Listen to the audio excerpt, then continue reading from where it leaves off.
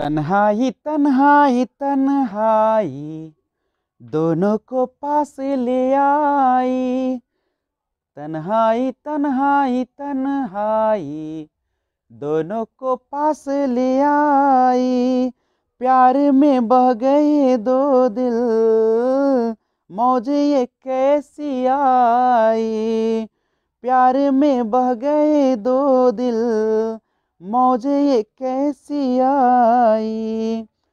आज हवाओं ने बंसी बजाई, बिन कहे दिल की बात बताई। ले डूबी मेरे पागल मन को, तेरे प्यार की ये गहराई। तन्हाई तन्हाई तन्हाई, दोनों को पास ले आई। प्यार में बह गए दो दिल। मौज ये कैसे आई? Hello friends this is Vijay Raj Pushp and welcome to learner eyes Y V R P तो आइए हम लोग आज अनुपात समानुपात का एक और अगला वीडियो देखते हैं। पार्ट आज शुरुआत हो रही है नाइन की। इसके पहले आपने वन से लेकर एट तक वीडियो देखा, जिसमें आप हर तरह के क्वेश्चंस का अभी तक आपको दर्शन हुआ। तो मैं बिल्कुल बेसिक से लेकर आपको एडवांस लेवल तक अनुपात, समानुपात पढ़ाऊँगा। ये लगातार अभी वीडियो चलेंगे। तो अगर आपको किसी भी प्रकार की समस्या आती है तो आप कमेंट बॉक्स में करें और लाइक शेयर कमेंट करते रहिएगा। और अगर आप नए व्यूअर्स हैं तो पूरा वीडियो देखने के बाद आप इस चैनल को सब्सक्राइब भी कर लीजिए। तब तक आप स्क्रीन पर नज़र रखें और देखें क्वेश्चन कैसे बनाई जाती है अनुपात समानुपात का। 504 विद्यार्थियों वाले एक विद्यालय में लड़के और लड़कियों की संख्याओं का अनुपात है तेरह ग्यारह। देखिए, लड़का यानी बुआ और गर्ल, बुआ है तेरह और गर्ल है ग्यारह। लड़का तेरह है और लड़कियाँ ग्यारह।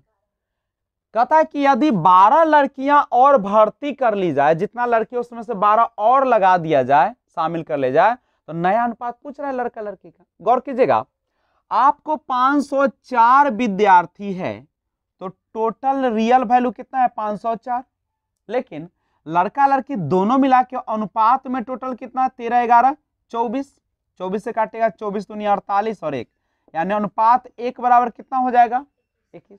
तो अनुपात ग्यारह बराबर निकालेगा तो कितना हो जाएगा? ग्यारह ग्यारह दूनी बाईस इकतीस, दो सौ इकतीस। और अनुपात तेरह बराबर निकालेगा तो कितना हो जाएगा?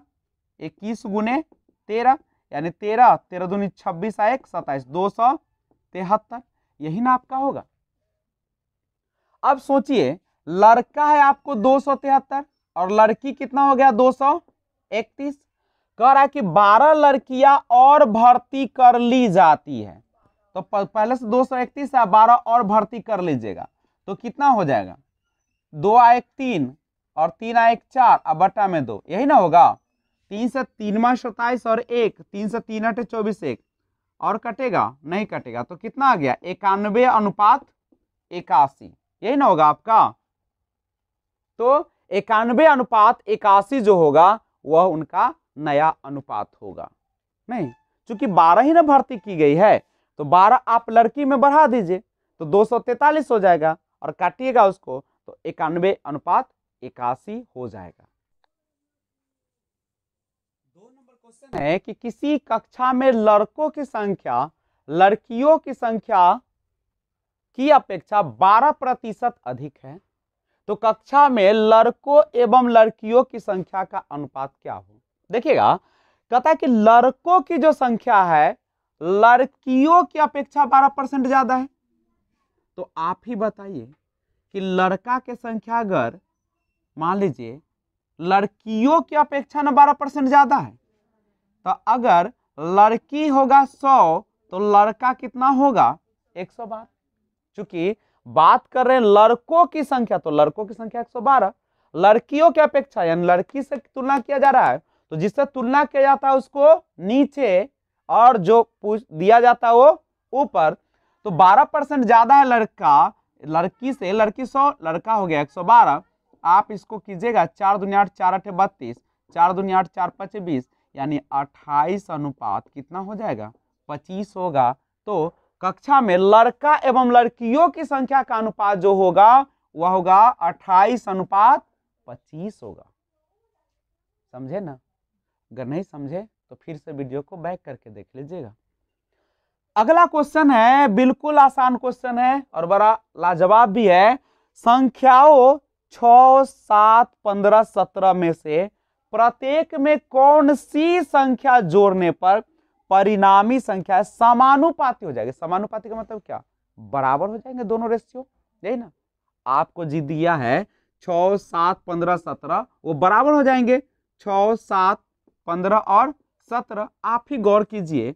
इसको बनाने का तरीका है कि हम लेकर देखते हैं कि कौन सी संख्या जोड़ेंगे। हम पहला ऑप्शन लेते हैं। अगर इसमें हम छ जोड़ दी, सब में अगर छ जोड़ दिए तो हो जाएगा बारह, ये हो जाएगा सात छः तेरह, ये हो जाएगा इक्कीस और ये हो जाएगा तेईस। आप ही बताइए, क्या यह दोनों इसके बराबर होगा कभी? क्या यह है विभाजित होने वाला? बिल्कुल नहीं है तो हमारा पहला ऑप्शन तो बिल्कुल क्या हो जाएगा? गलत। दूसरा ऑप्शन अगर लीजिएगा तो छ पाँच, ग्यारह, देखिए ऑप्शन लिख के देखते हैं। छ पाँच, ग्यारह और सात आ पाँच, बारह और पंद्रह आ पाँच, बीस और सत्रह आ पाँच, कितना होगा? बाईस। यह भी नहीं होगा। क्या होगा? बराबर आएगा? कभी भी ये दोनों इसके नहीं। तीसरा ऑप्शन चार लेके देखिए।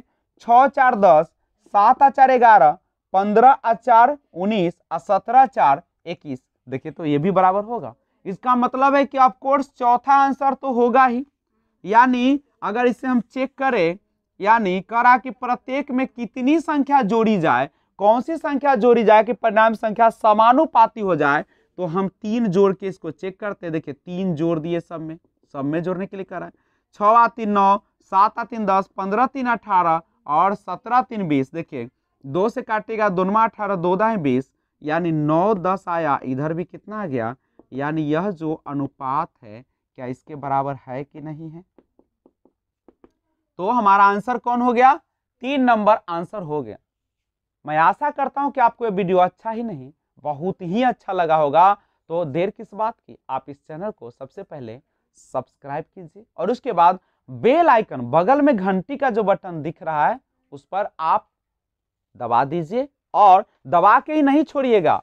जब तक आपको यह घंटी जो है, इस पर ऐसा नहीं आया तब तक नहीं छोड़िएगा। और यह तभी आएगा जब तीन ऑप्शन होगा नन का प्रश्निफाइड का और लास्ट में होगा ऑल इस ऑल पे दबाइएगा कि इस पर दो ऐसे आ जाएगा। तो आप इस तरीके से अगर कर लेते हैं तो जब भी मैं वीडियो अपलोड करूँगा, आपको सबसे पहले नोटिफिकेशन पहुंचेगा। और मैंने, आप जानते हैं कि ज़ीरो से हीरो बनना अब बिल्कुल आसान है। बना जा सकता है। बशर्ते आप एक एक वीडियो को देखिए, समझिए, समस्या आती है कमेंट बॉक्स में कर आप कमेंट करिए। तो मिलते हैं एक और बेहतरीन वीडियो के साथ। तब तक आप जहाँ भी रहे, अपना और अपने परिवार का ख्याल रखें, क्योंकि जान है तो जहान। मिलते हैं फिर। Thanks for watching keep watching जय हिंद, जय भारत।